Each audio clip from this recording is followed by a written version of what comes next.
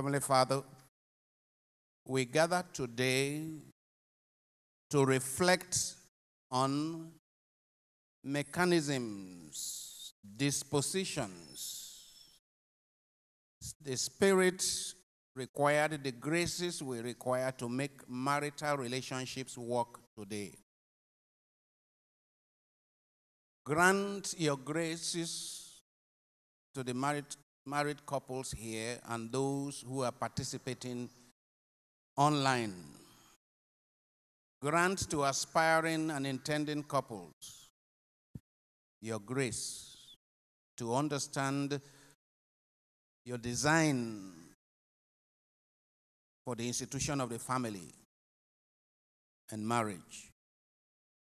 Grant your children the grace to live out perfectly your design. We are in crisis today, Lord, but by your help, we know that things can be turned around. Let this forum yield fruit in turning around, at least for some, the situation of marriage in our country and in the world. At the end of this exercise, help to heal the wounds in many of our families. Help to heal the wounds between many husbands and wives. Bring peace to troubled hearts and troubled homes. Saint Joseph the Worker, pray for us. Saint Joseph, foster father of Jesus, pray for us. Saint Joseph, leader of the household of Christ, pray for us. In the name of the Father, and of the Son, and of the Holy Spirit. Okay.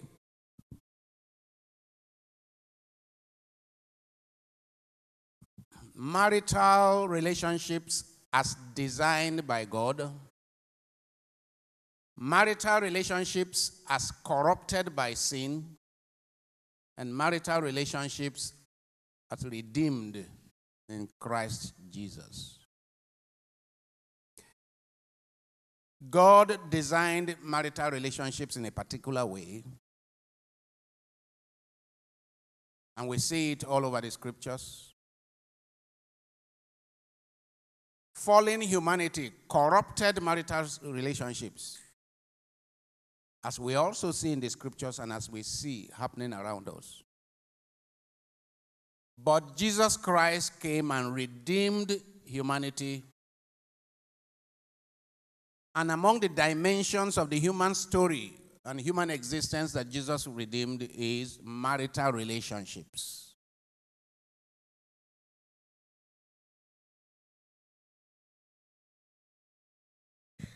If you look at Genesis chapter 1, uh, chapter 2, we have two versions of the creation story. Chapter 2, verse 18 to 25. Chapter 2, verse 18 to 25 tell us how God saw that the man was alone And he said, Let us make a helpmate for him. Then the Lord God said, It is not good that a man should be alone. I will make him a helper as his partner. So out of the ground, the Lord God formed every animal of the field and every bird of the air and brought them to the man to see what he would call them. And whatever the man called every living creature, that was its name. The man gave names to all cattle, to the birds of the air, and every animal of the field. But for the man, there was not found a helper as his partner. So the Lord God caused a deep sleep to fall upon the man, and he slept. Then he took one of his ribs and closed up its place with flesh. The rib of the Lord and the rib that the Lord God had taken from the man, he made into a woman and brought her to the man. The man then exclaimed, This at last is bone of my bones and flesh of my flesh. This one shall be called woman. For out of man, this one was taken. Then the critical verse, verse 24 Therefore, a man leaves his father and his mother and clings to his wife, and they become one flesh. This is the same text that Jesus quoted uh, in Matthew chapter 19. And the man and his wife were both naked and were not ashamed. Second chapter of Genesis, verse 18 to 25. Now,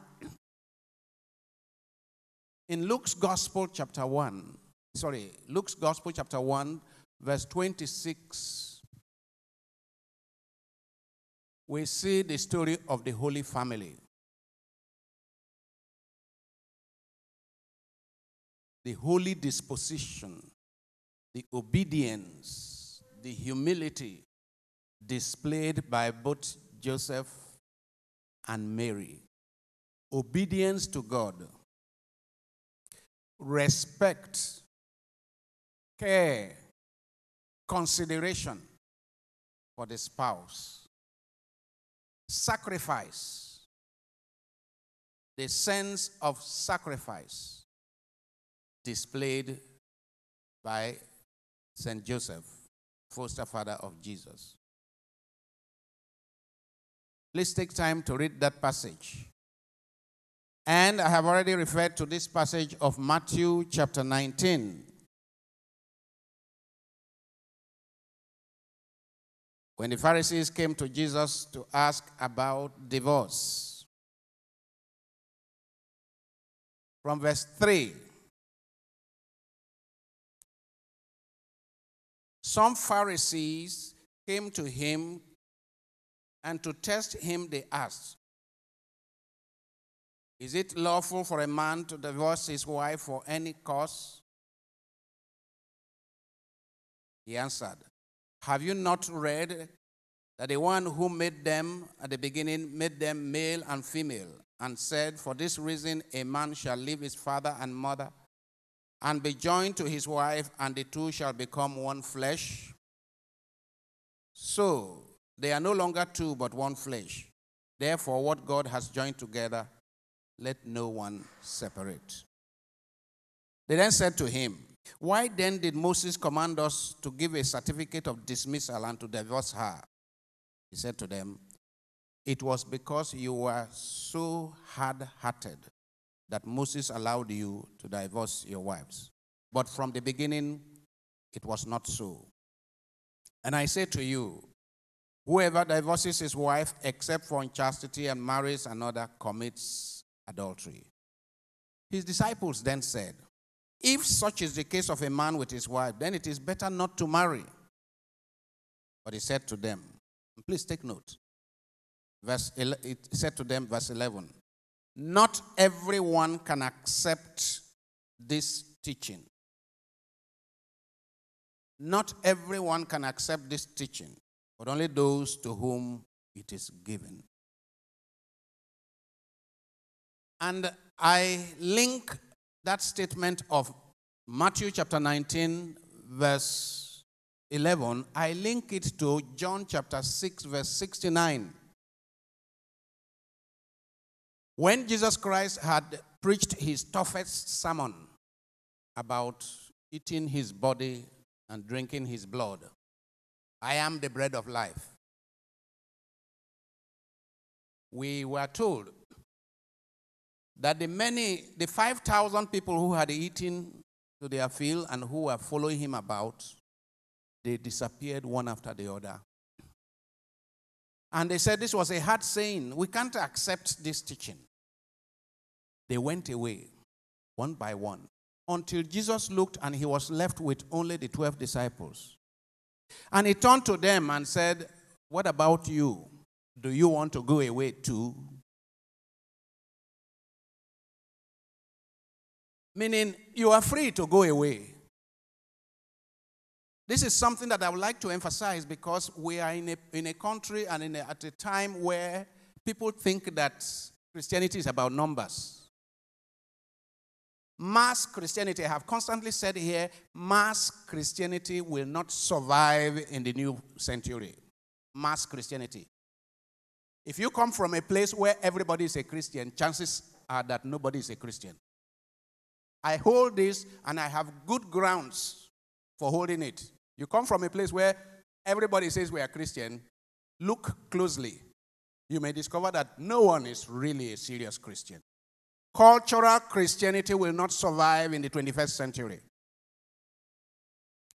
It was Bernard Lonergan, a Canadian philosopher, theologian, who had said some 40 years ago that in the, in the next century, Christianity will only survive in its sectarian form, in small, small cells. The kind of cells I have been talking about here to say we have a covenant community of a close knit people who support themselves to live the Christian life.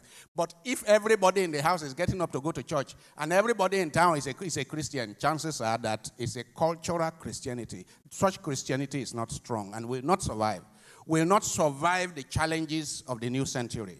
I am convinced about this. So Jesus Christ says, What about you? Do you want to go away too? Meaning, I won't force you to follow me. I can't force you and I will not force you. When God created you, one of the great gifts God gave to you is freedom of choice. So I will not force you. Do you want to go away too? And Peter gave that famous answer To whom shall we go? To whom shall we go? To whom shall we go? You have the word of life. To whom shall we go?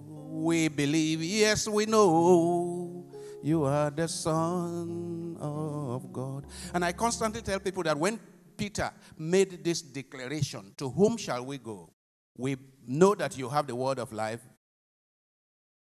That he made this statement not with a very strong, deep sense of acceptance. It's almost like, well, yeah, what you have said is really hard. Oh. I agree with those who have gone. That what you have said is really hard, but with, with what I have seen of you, where else? I'm stuck with you. That, that appears to me to be the disposition behind that song, that, uh, those words. I'm stuck with you. And to show that Peter was not that strong in his conviction, you see what happened sometime after. When his life was to be at risk, he chickened out. So, when Jesus says in verse 11 of Matthew chapter 19, not all can accept this teaching, only those to whom it is given. I normally ask people, do you consider yourself one of those to whom it is given? If you find the standards of Christian marriage too high for you, maybe you are not one of those to whom it is given. Maybe you are one of those in the world who cannot live the Christian, the standards of the Christian marriage. Because Christian marriage de- demands grace. Christian marriage is for Christians. I want you to know that the sacrament of matrimony is for Christians. When a Christian, or when two non Christians marry, it is not a sacrament. I do see people send cards who are not Christians send cards and say matrimony. Have you seen that before? They, are, they, are, they, are, they want to do mat. That's not, matrimony is a sacrament. If you are not a Christian, you don't celebrate a sacrament. Also, if a Muslim marries a Christian, is it a sacrament? And do the marriage in church, is it a sacrament? No. No, because you need the two for the sacrament to happen. When a Muslim marries a Christian, the marriage is blessed, but it is not a sacrament. When two Christians, two baptized persons come in marital union, a sacrament occurs. That means that apart from God being present with the man and being present with the woman, God is coming to be present with the two in a very special manner. So, when in the Christian standard, we are going to see things like abide in me, Uh, John chapter 15, verse 1 to 10. Abide in me and let my word abide in you. It is only when you abide in me and allow my word to abide in you and you keep my commandments that you will bear much fruit. For cut off from me, you can do nothing. It is only those who have embraced Jesus and the life of Jesus and the teachings of Jesus and the values of Jesus, they are the ones who can understand such a statement. We are going to discuss that a lot of the turbulence we have in marriage all over the place today is on account of the fact that few people are indeed abiding in Christ. Do you understand me? Many people are going to church, but few people truly abide in Christ. No wonder they cannot live the standards of Christian marriage. Christian marriage is a calling. And accompanying that calling, there is grace. But if you do not accept the calling, if you reject the calling in several ways by, by the choices you make, by the kind of company you keep, by the, your kind of preoccupation, if you reject that calling, then don't be surprised if you do not have what it takes to live through that life. John chapter 15, we have talked of verse 1 to 10. Verse, verse um, 1 to 10 is where he talks of abiding in me. And verse 11 to 13, he says that, Keep my commandments if you love me. There is no greater love than for a man to do what? To lay down his life for his friends. Verse, 5, verse 5, uh, 13, chapter 15, verse 13. There is no greater love. So, all those, some of you here and those who are watching us, I love you, I love you, I love you. Mm-hmm. In many cases, the people are not ready for any inconvenience, not to talk of dying for the person they say they love. And it is becoming more and more far fetched today. True, genuine love the kind of love that is described in 1 Corinthians chapter 13 verse 1 to 13 it is becoming perfect.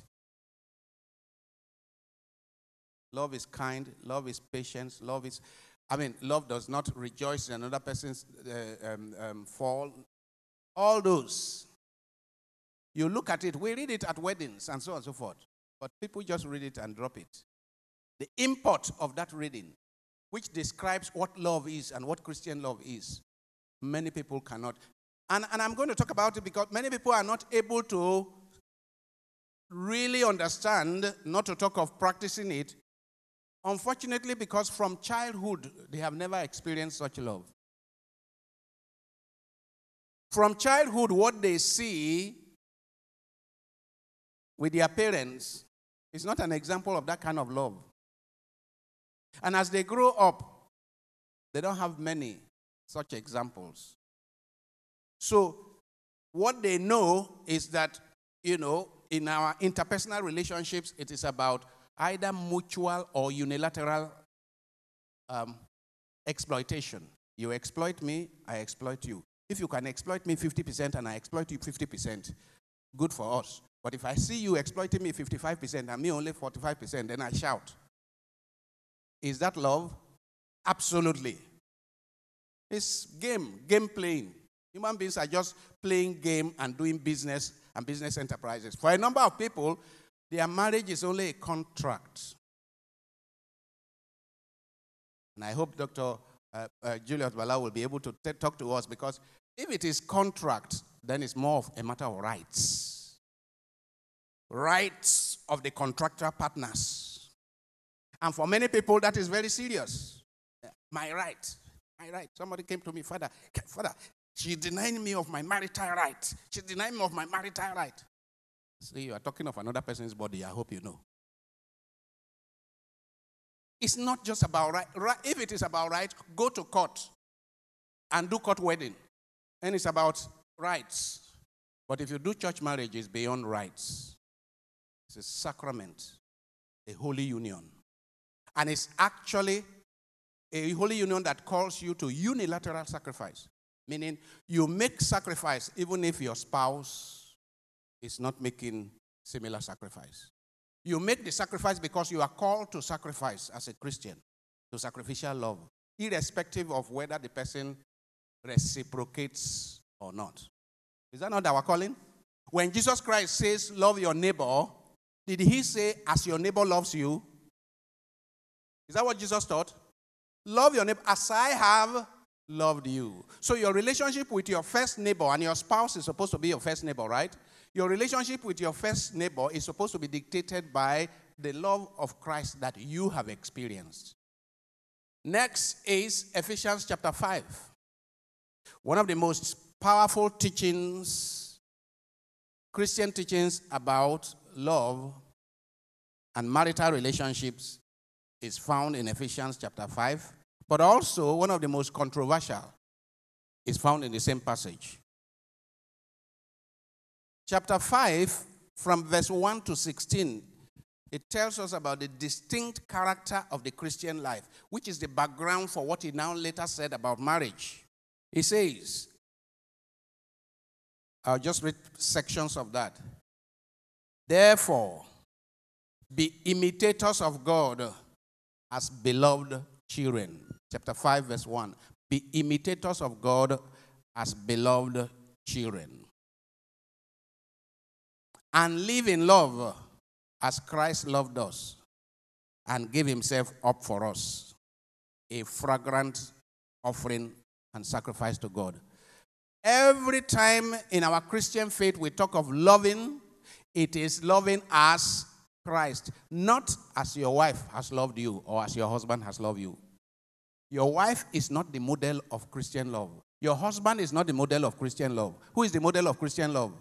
Jesus Christ. Is as I have loved you, meaning Jesus. But fornication and impurity of any kind or greed must not even be mentioned among you as is proper among saints. Entirely out of place is obscene, silly, and vulgar talk. But instead, let there be thanksgiving.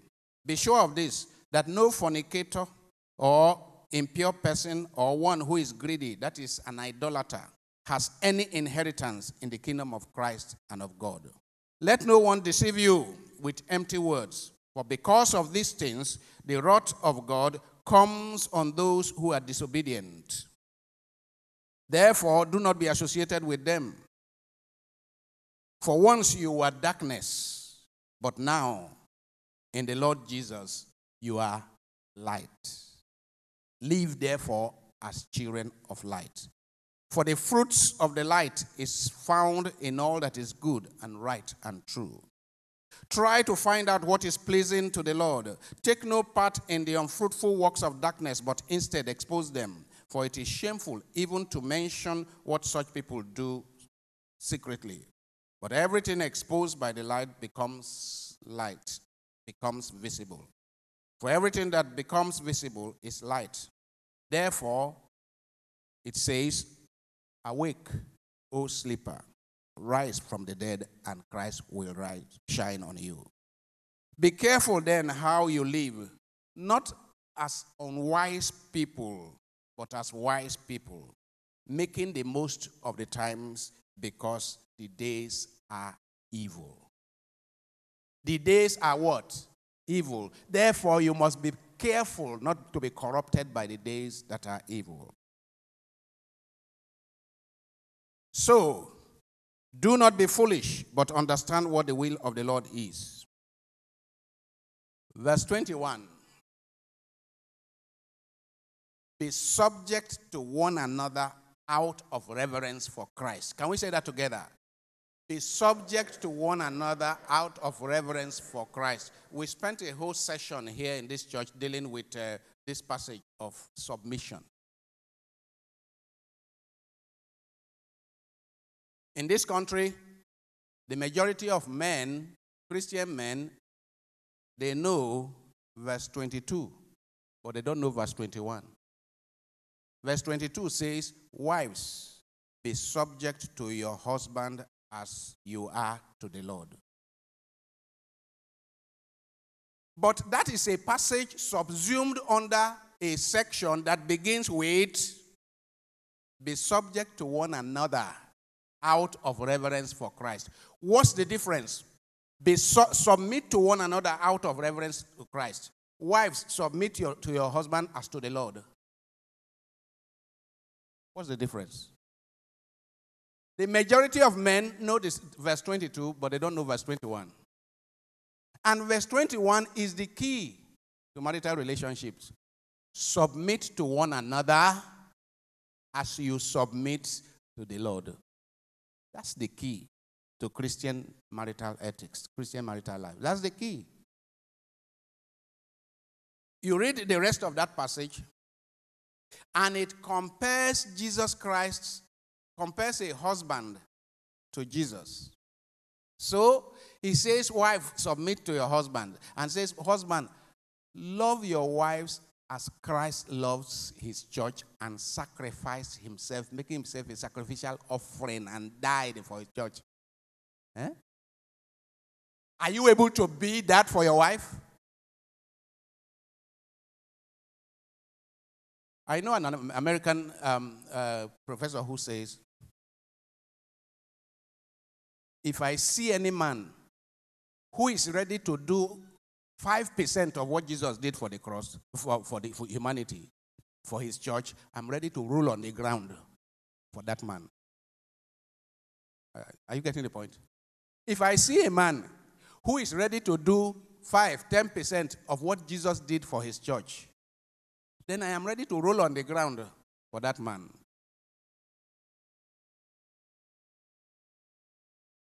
What it means is that what Jesus did for his church that St. Paul is telling husbands to do for their wives. All husbands here should say, ah, this one is hard. Oh. If we are, if we are sincere with ourselves.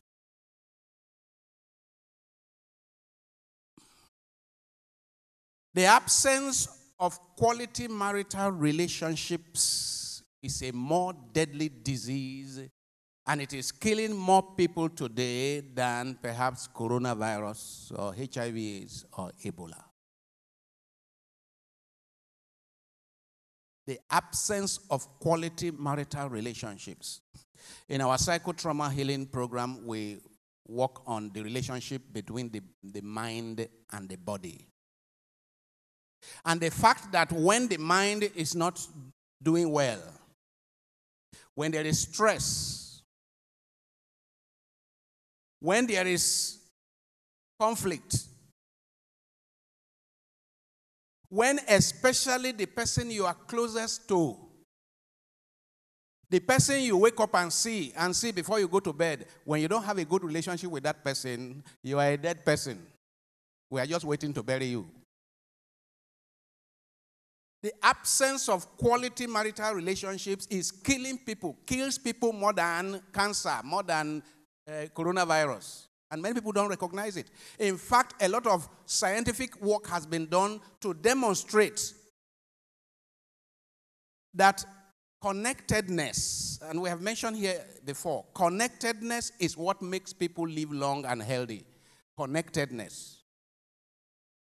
So, if you have in the various estates that many of you live, if you have a person in the estate who wakes up every morning and goes from house to house to greet people, who knows the name of the neighbor's children, who, who goes and gathers people, who is very active in the uh, uh, association of the estate, and so on and so forth, who has a good relationship with his neighbors and his wife, and so on, such a person is likely to live healthy, long life.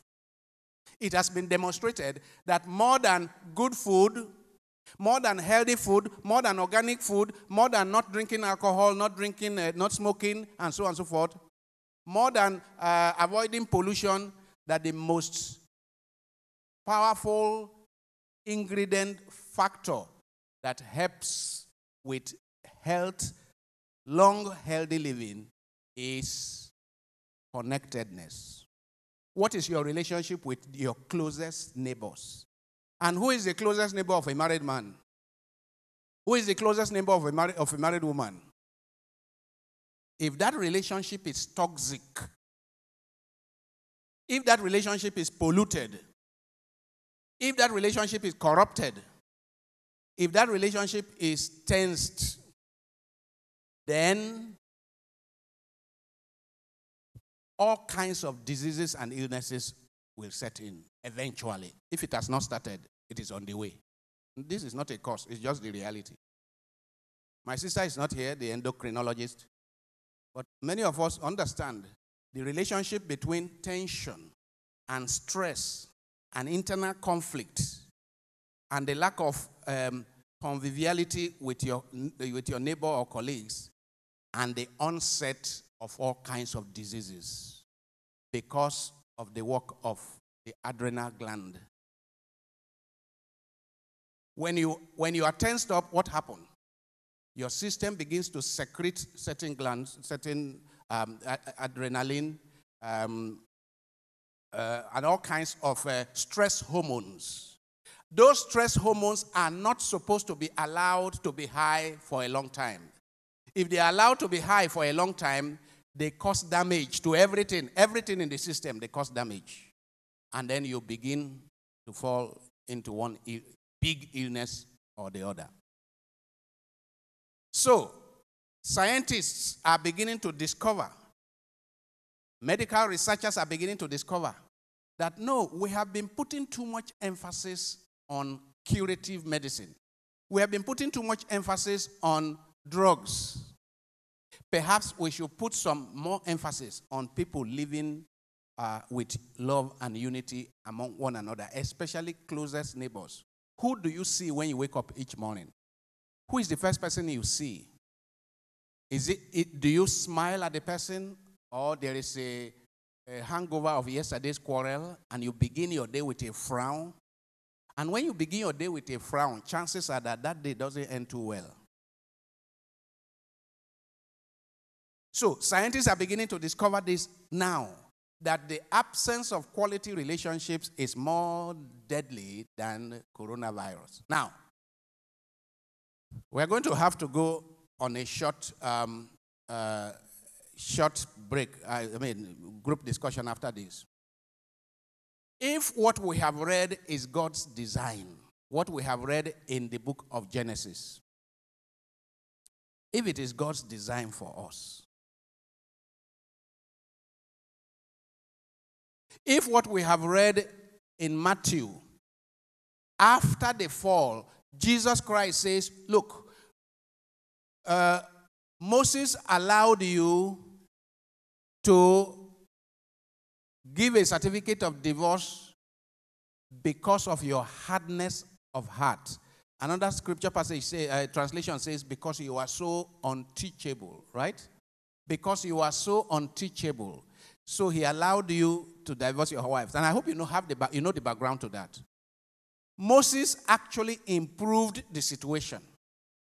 Before then, as you have it in some other uh, cultures and religions, the man will say, How do the Muslims say it? I divorce you, I divorce you, I divorce you three times, Abi, and you stand divorced. And the man refuses to give you a dismissal paper. And if he doesn't give you a dismissal paper, you can't get married by anybody. That was the situation. The man unilaterally decides to give you, uh, to, to, to divorce you for any reason. Maybe he comes home and the soup you gave him has too much salt. And then you ask, you ask her to go, and then you don't give her a writ of dismissal. If you don't give a writ of dismissal, a certificate of dismissal, it means legally she is still your wife, even though you have chased her away. Then she is stranded because she can't marry another person. So, what Moses did is to say, ah, ah, let us be a little more humane now. So Moses said, Yes, you can send your wife away, but I beg, give her a writ of dismissal. Now, they now use it and say, But Moses allowed us to sack our wives. And Jesus says, It is because of your hardness of heart. I mean, when the same hardness of heart that led the Jews in the desert to call Aaron and forced Aaron to make a molten image for them, isn't it? Eh, most, Aaron made molten image for them now. So if they went and told uh, uh, Moses that eh, it is your brother Aaron that made molten image, Moses would have answered, It is because of your hardness of heart. Then Jesus says, But from the beginning, it wasn't meant to be so. From the beginning, it was not meant to be so. This is not how God made it.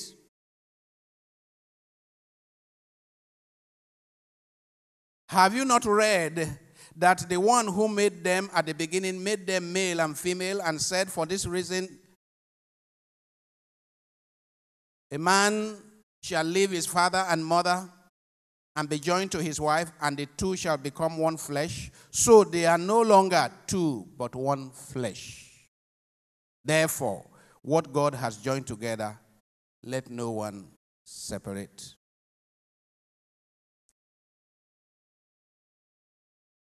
If this is how God desired it, sin spoilt it. Jesus came and elevated the union of man, the natural union of man and woman, to the level of what? A sacrament, as St. Paul explained so well to us. Why the widespread marital crisis and conflict? Why the marital toxicity and dysfunction widespread? I mean, in this chapel, this small chapel, I mean, we are overwhelmed. Overwhelmed with conflicts. And all over. Uh, innocent. They keep, they keep calling me from, from your place, my former parish, saying that, oh, Father, it is you alone my wife will listen to. It is you alone my husband will listen to. I say, you people have a priest. Let him learn to listen to another person. It's just, it's just overwhelming. And I look at it once they begin to talk. First five minutes of their talking, or one of them talking, I, I know that what is happening is that there is no, what I will explain to you, there's no transcendent third. The God factor is not there. They are doing human negotiations. And we are a fallen human nature. We are, humanity is fallen. If the God dimension and the Christ dimension is not there, it is either bilateral exploitation. You exploit me, and I exploit you, God no go vex. Or unilateral exploitation, meaning if I can get away with it and exploit you as much as possible. Without the God factor, without the supernatural factor, without a commitment to the fundamentals of Christian marriage, it is a battleground. Why? As I will explain later. This is humanity. This is how human beings are. We are a fallen human nature. We cheat one another. We kill one another. We abuse one another. We exploit one another. That is human nature. The one who has come to make a difference is who? Jesus Christ. And Jesus, who has come to make a difference, says, I say to you, on account of your hardness of heart, Jesus, uh, Moses allowed you to do this, but I say this to you. So I always tell couples that listen, if you don't have a prior commitment to Jesus Christ and a serious one, please don't bother me about your marriage. Go and see secular marriage counselors. Don't bother me about your marriage because I am going to be using what principles? Christian principles. I'm going to be using Christian principles. Why is marital relationship today among many people so toxic, so dysfunctional? By dysfunctional, I mean, first of all, by toxic, you know what toxins are? You know, otapiapia kind of thing a poison, or tapiapia. Some marital relationships are not different from otapiapia. Meaning, children growing up are exposed to poison. Just watching their father and their mother, they are being destroyed. Just like otapiapia destroys rat. Dysfunctional. Many husbands and, and, and, and wives are living together. What the man go do? They are living together, but it is the relationship is not functional. They are living together, as Yoruba say, in Tori and Womo, because of children. In a male chauvinist society, where in large measure a man has a child of five and another of three and chases the wife away and, has, and tells the nursery school not to allow the, man, the, the woman to show up there. I hope you know that is happening. Tells the nursery school not to allow the man, the woman to show up there. Tells the whatever. At the end of the day, the children are stranded. Those are completely broken down ones. But there are dysfunctional ones that are not broken down. There, are, there is much spousal abuse, spousal contempt. I mean, the kind of things I have heard with, with this my ear. I wish you can anoint, do deliverance for my ear for the kind of things that spouses have said about one another. Things I never imagined I would hear in my life. Things that should not be said. I mean, somebody comes and tells me about the wife this afternoon, after this at 3 o'clock, we're going to do a wedding. And then you hear all the uh, wonderful things they will say about one another at reception and so on and so forth. And then three months after, three years after, you hear them talk about one another. You can't believe yourself. Can't you, for the sake of the crowd that were gathered on your wedding day, can't you reserve some of these things? Can't you, for the sake of the promise you made, for better, for worse? I mean, I tell people, you say, no, not that one, Father. Not that one. You made it for better, for worse. So your husband did this. Well, unfortunately, that's part of the for us. He said, Father, it doesn't include that one. And that makes me very, very slow to get involved in any marriage. And you see, we do only about one marriage a year here. Right? About one. Okay, we're going to have two or so this year. Because I am very slow. I'm very, very slow because I know that maybe 75% of people who are coming up to marry in any church today are not prepared. Innocent, right? They are not prepared. And if I have my way, I will subject people to one year of formation before marriage. Unfortunately, they are finding it so easy to walk in, and within one month, they are doing marriage, only for the thing to be crashing. Then there is wife battering. Even though some women are beginning to try their best in that area.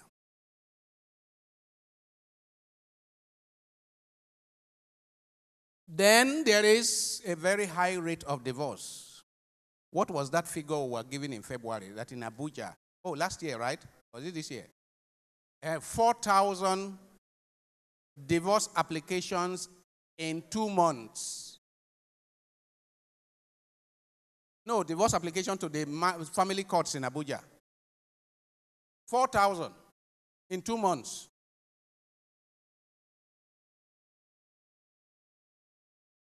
Huh? You are surprised? I don't know how many marriages, weddings we had in those two months, but in two months alone. Statistics show uh, some, somebody who has done, or his name will come up, John Gottman and others, have, who have done a lot of research on marriage have shown that in America today, 52% of marriages are collapsing within the first five years. And, you know, they have a lot of living together. People who live in. Those ones are 70%. Of course, those ones who are living together, they can be 100% because they are just living in, they are doing trial. If you do, if you use your marriage as trial, it will collapse. They say, if you leave the back door open, you will surely use it. Can we say that together? If you use, leave the back door open, then you will surely use it. You are either all in it or there is no marriage. Jordan Peterson, the famous Canadian psychologist, says that. That you are, the game of marriage is such that you are either all in or you have no marriage. Because if you leave the back door open, you will use it. Let me leave it at this and request that the men go to the hall and discuss for the next 15 minutes, and the women stay here and discuss for the next 15 minutes why the widespread marital conflicts and crisis, marital toxicity and dysfunction, spousal abuse and contempt and battering, high rate of marital breakdown and divorce. Why, among Christians who are committed to the values or who are supposed to be committed to the values we read out earlier, why, therefore, these challenges? Let the men go to the hall, let the women stay here and discuss for 15 minutes. And then uh, let there be a report somebody to report for the women, somebody to report for the men. Be careful. Let the report from the women not just blame men for everything, because you, you, you won't be sincere with yourself. Let the report from the men not just blame women for everything, because you won't be sincere with yourself. So do a realistic discussion for only 15 minutes, and then come, there will be a three minutes uh, each report from uh, each person. Just, bullet points that the report will be. Why do you think, do you, does your group believe that there is all this problem now? Okay, so we go for uh, a break. Fly to thy patronage, O Holy Mother of God, despise not our prayers and our necessities, but deliver us from all dangers, ever glorious and blessed Virgin name of the Father and of the Son and Holy Spirit.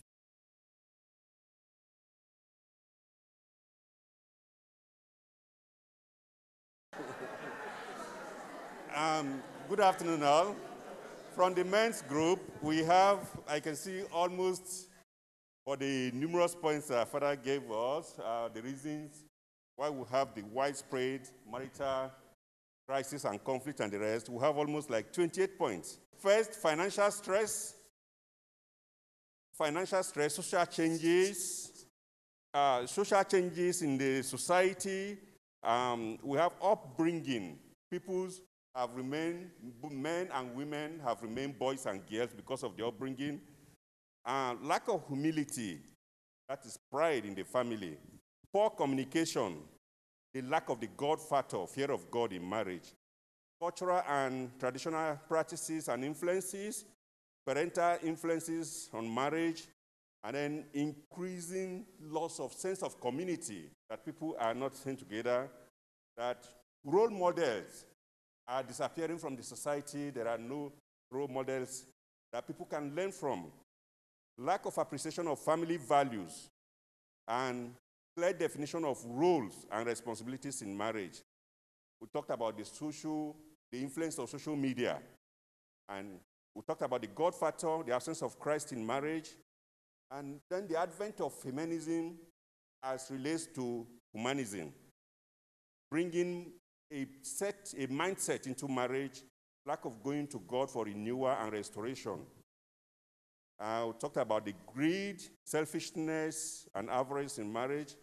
And then somebody talked about the open door that was left behind. If you left an open door in the marriage, that is Again, people will, like Father said, people will almost always take that back door out of marriage. We talked about secularism and foreign influences, suspicion. The reasons are many, but I think I'll just leave it at this point. Thank you. Thank you very much. uh, it's useful. Put your papers uh, there. It's useful. Now, the women. Um, so, for the women, we talked about why we have the widespread marital conflicts that lead to divorce and so many other dysfunctions in the marriage. And we came to a lot of points, and one was financial conflicts. We have lack of commitment to the marriage in the first place. We have lack of freedom in the marriage. We have, that's a cautious heart. We have lack of effective communication in terms of finances, the roles which each partner is supposed to play. We have the lack of Christian foundation of sacrifice and forgiveness, as well as the God factor that's families praying together. Then we have comparisons when couples tend to compare their own husbands or their wives with others or their marriages with others. Then we also have cliques where we where in the sense of the types of friends that you associate with. There's also lack of contentment. There's external influences from friends and family. There's pressure from family and society for singles to get married without being adequately prepared, not knowing their capabilities or incapabilities, and then keeping secrets from one another, not taking your spouse as your best friend. Then there's lack of respect, which comes sometimes from maybe a, a particular partner or a particular spouse being more financially independent than the other. Then we have pride, which causes conflict that lasts longer than it is supposed to be. And then um, there's distance. We talked about distance, where one spouse is in another location and another spouse is in another location. We also talked about ill health of children or spouses. It could also lead to conflicts. Then we have um, cultural practices. In the cultural practices, we looked at where a woman has to take permission from her husband before taking care of her family, and then it doesn't go both ways.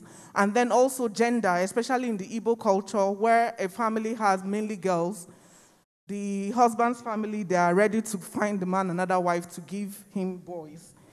Then we ended it with um, at this time that women are feeling more um, financially independent, they feel that there's no need for the marriage anymore, and then it can lead to the high rate of marital breakdown and divorce. Thank you.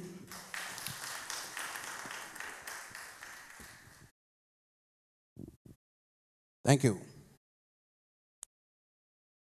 Thank God that nobody came and just blamed the other, right? I think it was fairly balanced report. Okay. Um, before coming here, I outlined some of what um, I believe are possible causes of marital dysfunction.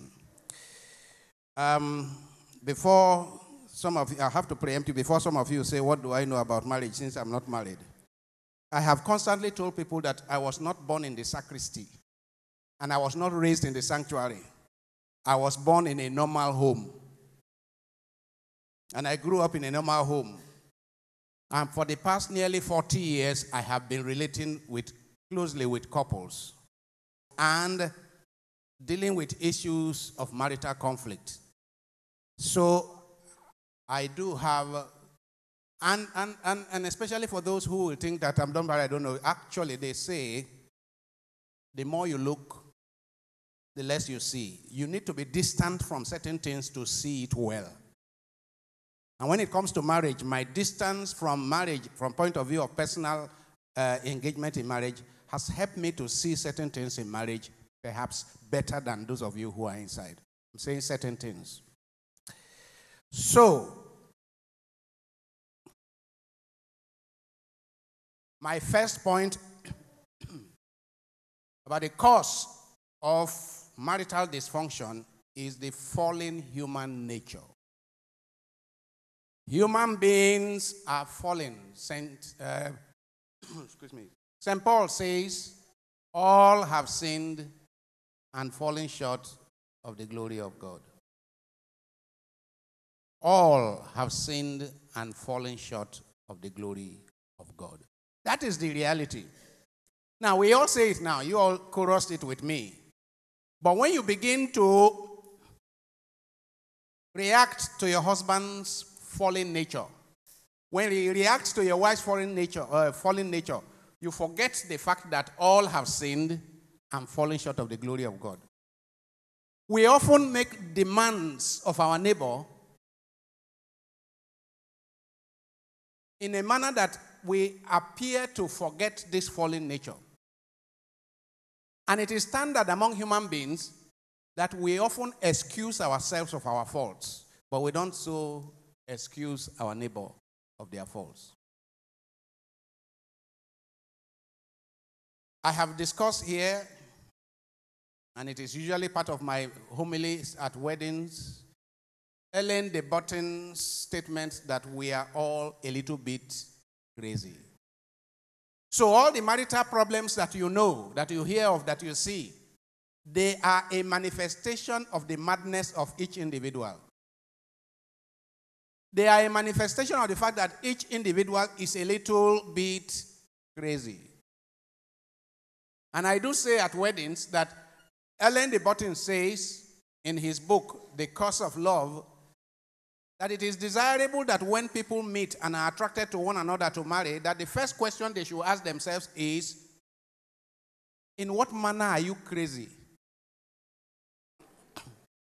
In my own case, I am crazy in this way, in that way, in that way. In what manner is your own madness? I take it that we, each one of us is mad in our own way. In what way is your own madness expressed? Me, I have known that I do express my madness in this way, that way. He says it would help a lot. That illusion to go around saying that, oh, especially in those days during, uh, I don't know whether they still do it on NTA, after 9 o'clock news on Sunday, then they now show one big man's son or daughter after the other uh, their weddings. You remember that? And then they will interview the woman, say, What do you think of this person you have married? Oh, he's the best man in the world. Nah, lie. He's the best woman in the world. Nah, lie. He is the one you have chosen. Tomorrow you will see a better person. But he's the one you have chosen. You have made a commitment to this one. It's not because he's the best man in the world. Right? You see, Alain de Botton says it is those illusions, the illusion that I have gotten the best three months after, one year after. It leads to what? Frustration. Because you are lying to yourself. We are all broken. How is it that you expect your neighbor to be fully fixed? But we are all broken. And we need a lot of patience with one another. Number two, the restlessness of godlessness. What came out in both the report of the men and the women as the absence of the God factor. St. Augustine says, the Lord has created us for himself, and our hearts are restless until they rest in him. As long as we are not hooked to God, as we read in our reading John chapter 15, verse 1 to 10, that we referred to earlier, abide in me and let my word abide in you. A branch cannot bear fruits unless it is part of the vine, neither can you unless you are part of me. So, to the extent that we don't take seriously the God factor, to the extent that the God factor is not the fertilizer of our life, it's not the one that is the source, it's not the one that is the foundation, we are going to crash. St. Augustine understood that very clearly. The Lord has created us for Himself and our hearts will remain restless. What does it mean for the heart to remain? A restless heart, can such a person have a peaceful home? So if the wife's heart is restless and the husband's heart is restless, what do you expect? It's a turbulent home. It came out in the report of the men, it came out in the report of the women, the absence of the God factor. And I heard the women, when they were discussing, I heard one lady say that if people pray and not just recite prayer, but actually pray. And the husband and wife pray together as husband, Christian husband and wife. And you know that tomorrow morning you are going to pray. Tonight you are going to pray. You would do whatever is needed to, to kind of resolve, manage your conflicts because you are supposed to be praying as one with one voice. I call it the widespread neglect of the transcendent third. I thought we would have the time, but we don't have the time now to watch a short video of, um, of uh, Bishop Barron. Bishop Barron, who discusses uh, the dimension of um, the transcendent third, says Greek philosopher Aristotle spoke of the transcendent third, by which he meant that a friendship, such as the friendship that is supposed to exist between husband and wife, a friendship will endure Listen, only to the extent that the two friends fall in love, not so much with each other, but together fall in love with a transcendent third. Husband is one, wife is two, there is a third. And that third is transcendent, meaning transcends the two of them, is above the two of them. Marital relationship or any kind of serious friendship will only endure and last and be peaceful and be pleasant to the extent that the two people not only fall in love with one another, but that the two of them together fall in love with a transcendent third. With some good, with some good, we call God is good, right? With some good, with some truth, God is truth. With some beauty, God is beautiful the true, the beautiful, and the good. To the extent that the two of them fall in love with a higher power that is good, that is beautiful, that is true, that is beyond them.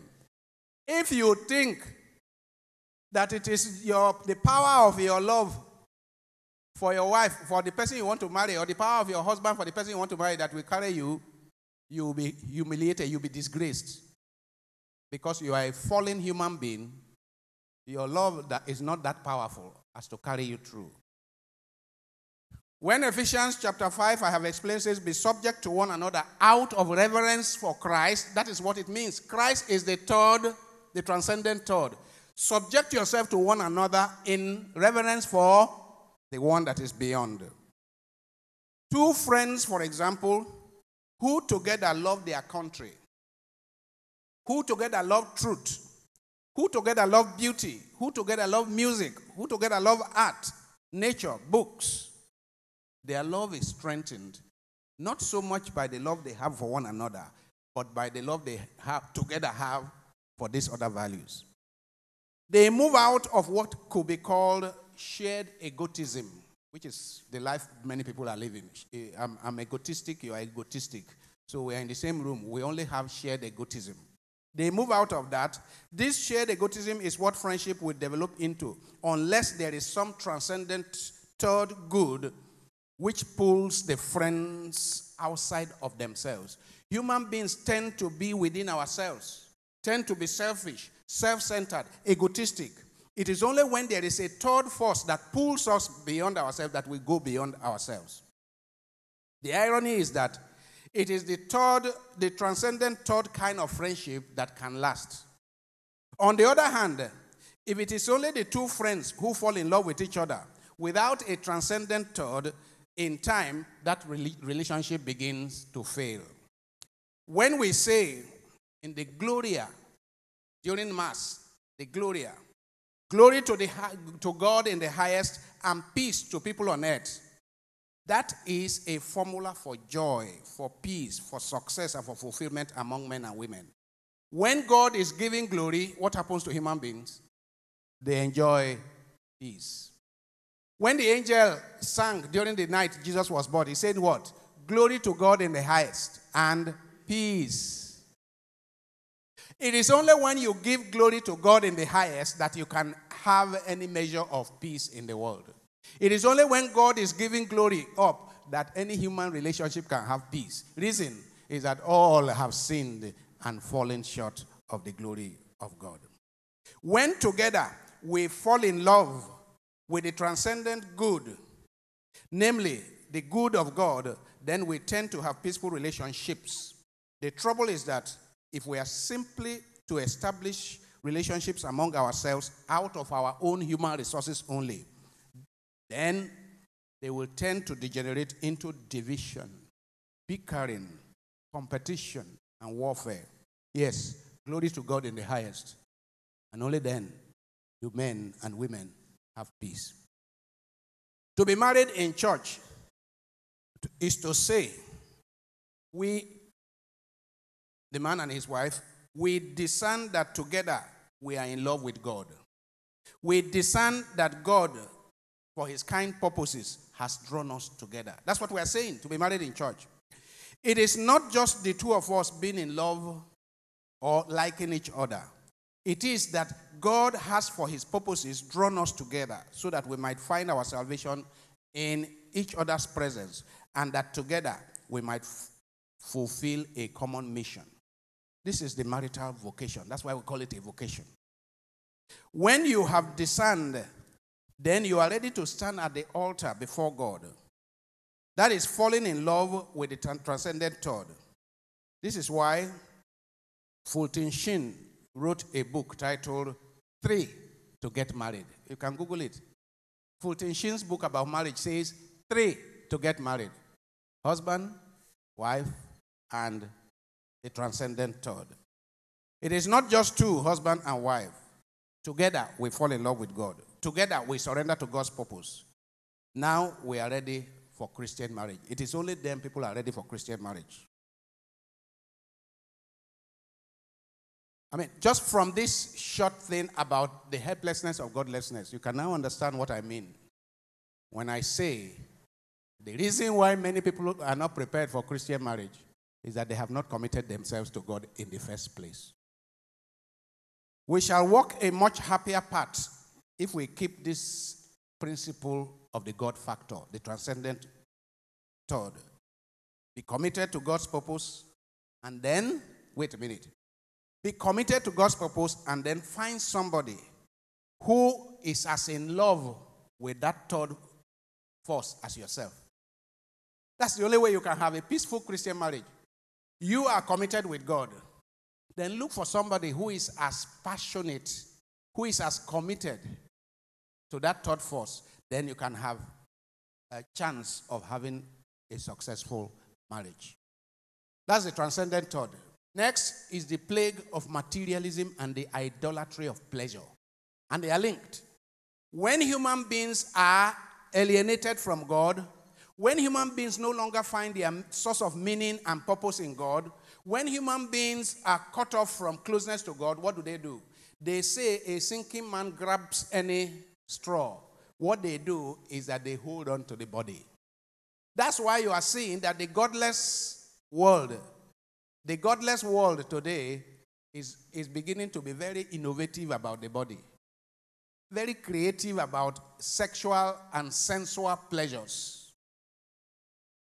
And recently I sent out an article that, that I titled the, God, the, the, the, the uh, Restlessness of Godlessness, and I talked about the fact that because people can no longer find their fulfillment in God, you are a man today, and after a few years, uh, uh, Dr. Julius uh, Bala, who has, who has adult children, will now tell Madam that, you know, I made a mistake, really. My real self is that I am a woman. Eh? God forbid. I mean, I mean, all kinds of nonsense are coming. Because when God created us and our bodies, if you are no longer connected to God, do you think we will know how to use our bodies? Absolutely not. Materialism, just grabbing, grabbing, grabbing, grabbing, which is and you can see that as the grab grab mentality is increasing in Nigeria, divorce rate is increasing, right? Marital dysfunction is increasing. Idolatry of pleasure. Pleasure itself can become a god, and it is becoming a god in the life of many people. Yeah, I have my own life to live. I have my pleasures.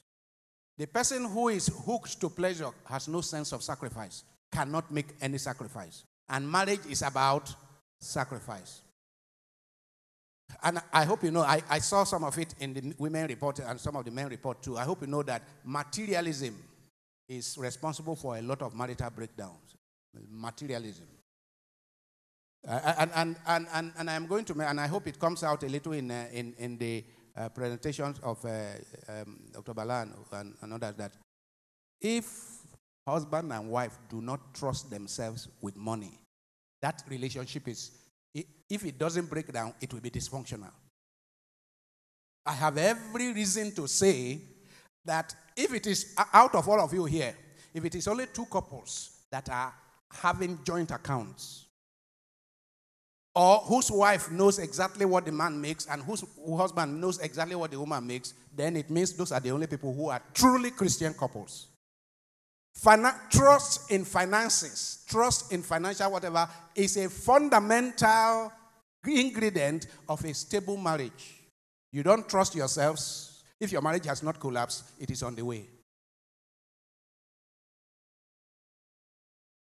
Next is poor spiritual and psychological preparation.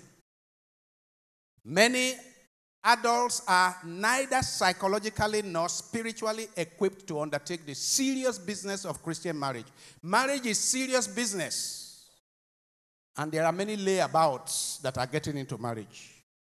There are many people who are neither emotionally mature, neither psychologically developed, nor spiritually aware who are going into marriage. So from the beginning, the marriage is crashing. From the very beginning. Actually, a lot of a lot of marriages that we see are just hanging in there. The marriages have very have no psychological foundation, no spiritual foundation. I have seen too much of that in my life as a priest. And I have that's why some of you here have been hearing me say that 75% of people going into marriages should not go into marriage, should they know what marriage is all about. And Innocent is here. He knows that when, when in Asokoro we set up the premarital course and we, we, we had a group, I think it was 2011, we had a group and we were working on it. Halfway through the course, when we tried to make them know the, the importance of the course, Dr. Julius Bala was part of it, Innocent was part of it, and others. By halfway through the course, three of the couples came and said, if that is how marriage is, as you have explained, I don't, we don't think we are for each other. And my problem is that such preparation is not happening. Even in this place, in Lux Terra, we had a set that I was doing premarital course for. And halfway through it, one couple came to me and said, if that is how it is, uh, where's Mrs. Nwachukwu? You know about it. Halfway through it, one couple came to me and said, if this is how it is, I don't think we are for each other. So when and I keep say, I keep saying to my colleagues, don't make premarital course the next day before before wedding. Don't make premarital course when they have done traditional wedding. Don't make premarital course when they make premarital course one, two years before. When no serious commitment has already been made. But when people come with three months pregnancy to say they are doing premarital course, they are not listening to you. They're just following the requirement. So many people are they, many many people have no they are not equipped for any permanent commitment to sacrificial love. No way. Number five, success in marital relationships is an enormous task. A task. Uh, marriage is not sugar in the morning and sugar in the evening only. It's a task. I mean, young people have sexual uh, attraction, which is called infatuation, and they come and say that they are in love. And I say, which young man sees a young woman and is not attracted? What achievement, what achievement have you made to see for a, a, young man to see a young woman and say that I am in love with her? Am I to congratulate you? It's instinctual now. Even an, a lower animal sees a, a, fem, a, male or female, they are attracted. So you have not done anything. It's instinctual. But real marriage is a task. But many lack the required skills. I put in capital letter skills. Many lack the required skills. The interpersonal skills. The communication skills. The negotiation skills to execute this task. Every day, the people who live together, they need to be negotiating, isn't it? Negotiating how the house will be taken care of.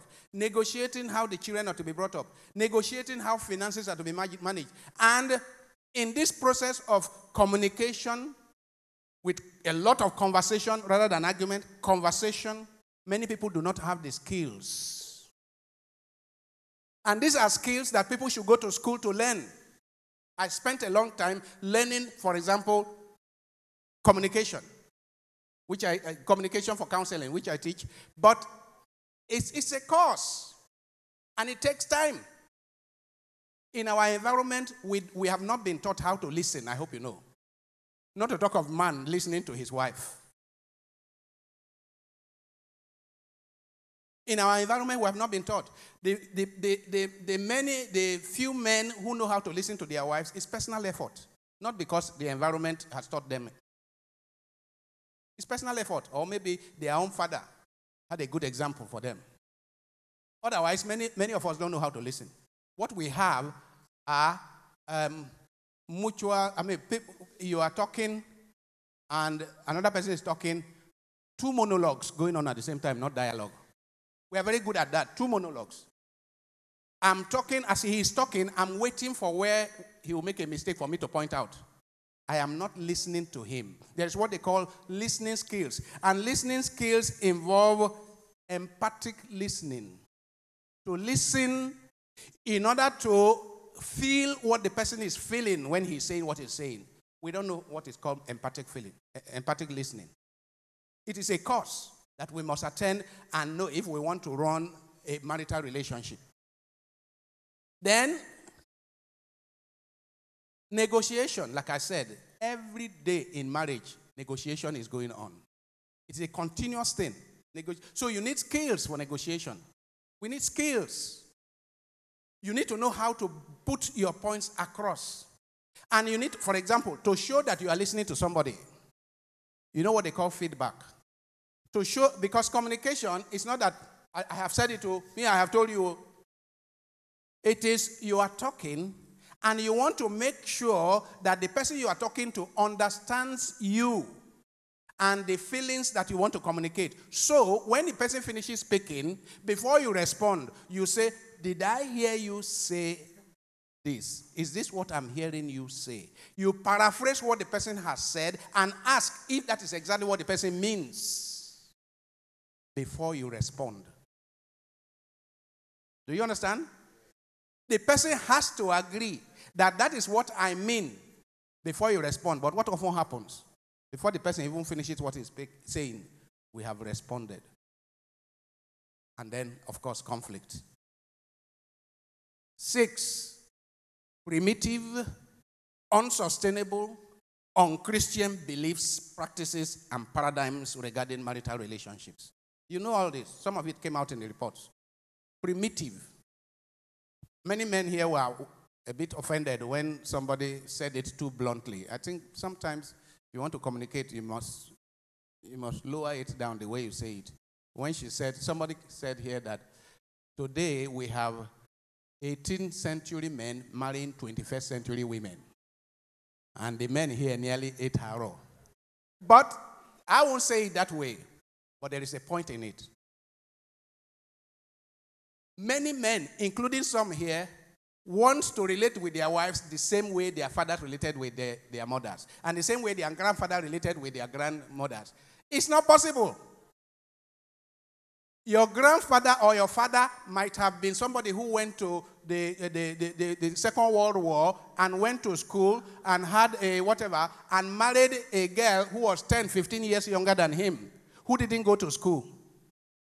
A girl who calls him Oga. Are we not familiar with that?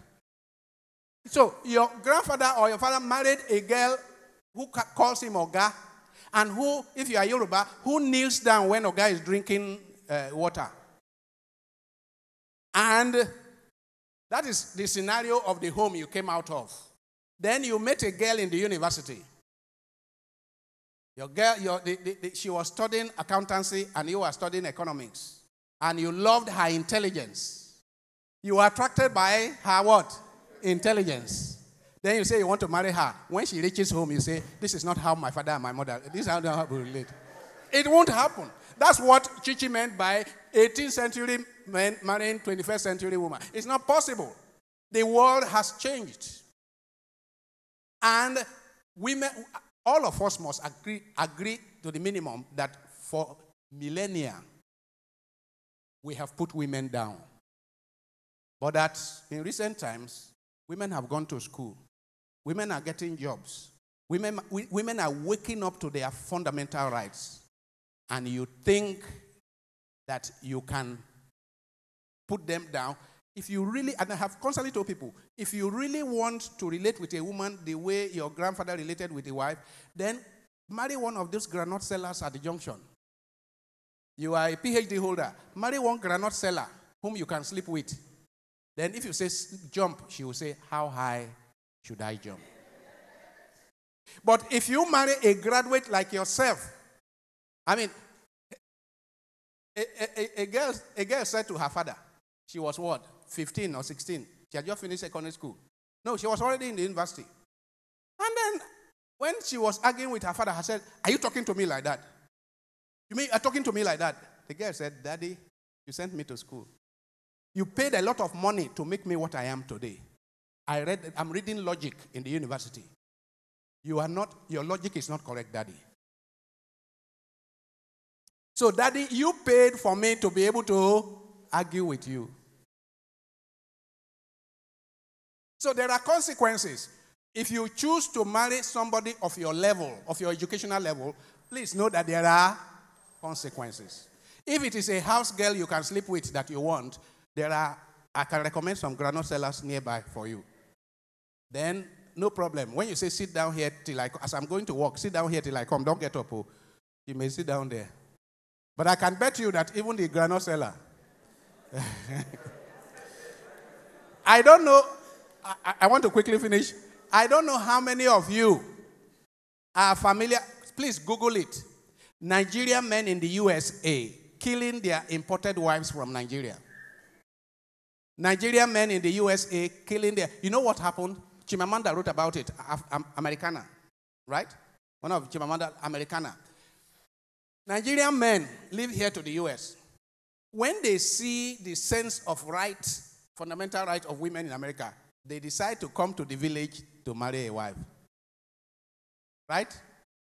After marrying a wife from the village, they reach the US. The easiest thing is to go and read nursing. Once the lady, as she's reading nursing, she's mixing with other women. Uh-huh. Once she finishes, you say, I said, sit down there. He said, Listen, if you raise your voice again, I'll call police. and this man is totally flabbergasted because, eh? This person I went to the village to, eh? I say, if you raise your voice again, I'll dial 911. All of a sudden, he discovers that the native wife, the native wife he was looking for, within six months, one year, is now behaving like an American lady. That's what Chimamanda dealt with in that novel. And that is a man who has refused to wake up to the new reality.